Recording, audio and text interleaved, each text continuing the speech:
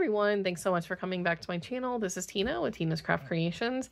I am on today as part of a YouTube hop. Uh, Bethany over at Your Crafty BFF reached out to me and some other ladies about doing a um, like a packaging type of YouTube hop. So uh, we're going to try to give everyone ideas for um, how to package up your swaps or how to package package up Happy Mail and things like that.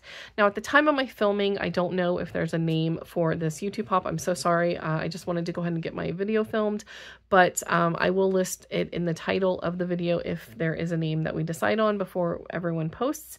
And of course, everyone that is going to be participating in the YouTube hop, I will have them linked down below in the description box. So like I said, I went ahead and made my project. I just wanted to go ahead and knock it out while I had some things going on in my head that I wanted to plan out for this. And um, what I made today are some decorated glassine bags. So you guys, if you do follow me, you probably will have seen these types of things before, um, but I have not made them in a while, and I'm so sorry that Joplin is probably going to knock on the tripod. um, but uh, I do like to take glassine bags every so often and decorate them. And these are really good for Happy Mail. And I'm going to show you some examples here in a second. Now, I am working with the Simple Stories um, Summer Snapshots collection. And um, I went ahead and turned these glassine bags into little shakers on the front. So what I did was I just took paper from the um, collection, put some acetate down, stitched it on, added some um, some uh, sequins. The sequin mixes that I'm using um, are either from my my stuff that I've made um, or Rachel Tallman's sequin mixes. And I did use um, things from the collection to decorate this, like uh, stickers from the sticker book, enamel dots, things like that. So you'll see a, a variety of different things that I used for all of the bags. I made six total. So this is the larger of the ones that I have. And these are just little glassine bags. And I do fold over the, um, the glassine bag whenever I'm putting my image down. So that way I know that there is still room to uh, seal it.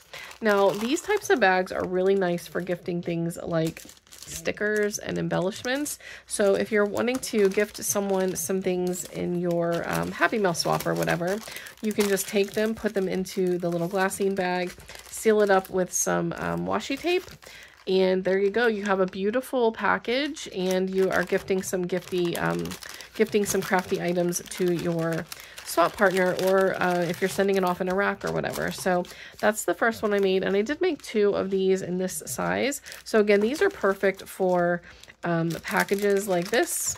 So stickers from Hobby Lobby, Michael's, Joann's, things like that.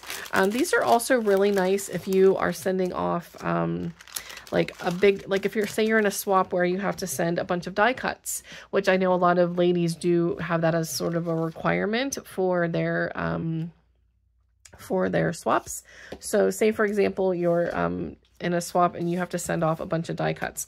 These types of bags are perfect for that. So I just have some sitting here on my desk that I just made recently. You could put your die cuts in here and you have them packaged up nicely. Again, you just seal the seal the back with some washi tape and your um, die cuts are safely inside. And the recipient can easily reuse this um, bag as long as, you know, it doesn't rip or anything. They could easily reuse this for packaging for um, something maybe they've made as well. So really, really good for die cuts and larger um, embellishments that you want to send to your Happy Mail partner or a rack or whatever. Um, or if you're, again, if you're participating in a swap.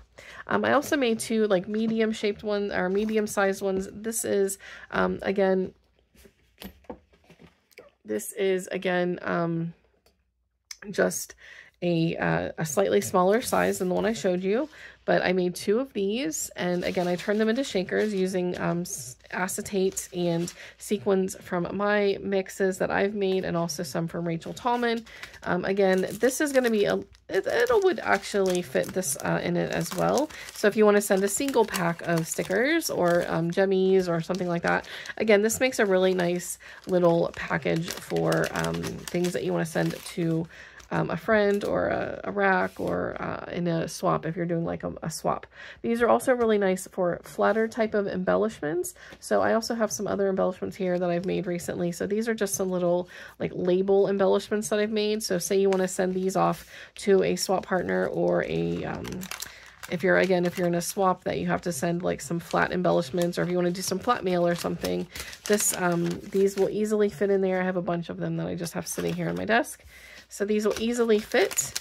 And again, it's still fairly flat. You can easily seal this with some washi tape. And again, you just have a really cute little package for um, Happy Mail. So um, those are, uh, these little bags are just very um, versatile in regards to what you can put in them. And um, again, all you have to do is just cut a piece of paper. I just use, um, I just hold the paper up to my bag. I use a pencil and I mark it and then I cut it down and then I just sew a piece of acetate on and put the sequins inside. And um, you don't even have to turn it into a shaker if you don't want to do that. Um, these are more for like flatter type of things because obviously once you put it in and you don't want to make these too um, too bulky so I do tend to put like very flat embellishments on these types of bags just because um, once you add the paper backing this becomes a little bit more stiff so you can't fit anything in there that's going to be like bending or anything like that so you don't want to make it too bulky because then it's harder to get it inside so these are really, really good for flat mail type of situations. Um, and then this is, again, the other one that I made in that size. All right, and I did make a couple smaller ones. So this is the first one. Again, you can use these for things like uh, enamel dots. So say, for example, you want to send some enamel dots to your friend or swap partner.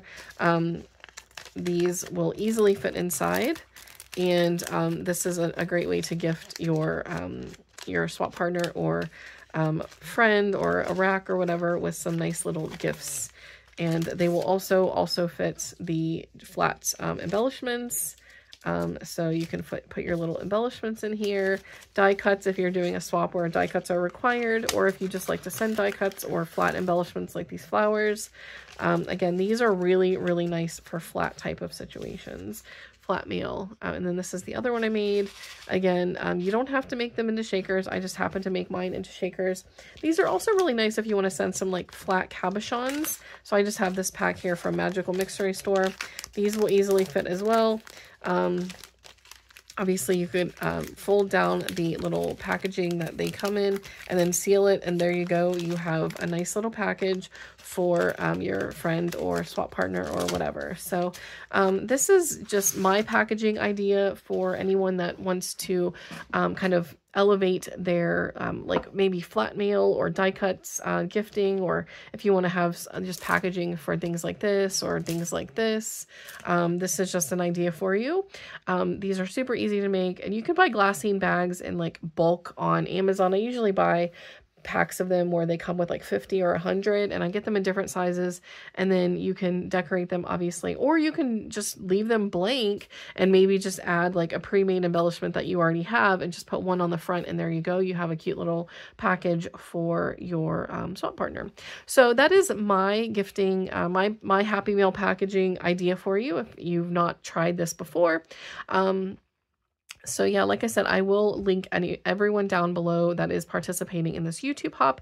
And if anyone does have any questions, please let me know. If you've not already, I'd greatly appreciate if you would consider subscribing and I'll see you guys in the next video. Bye everyone.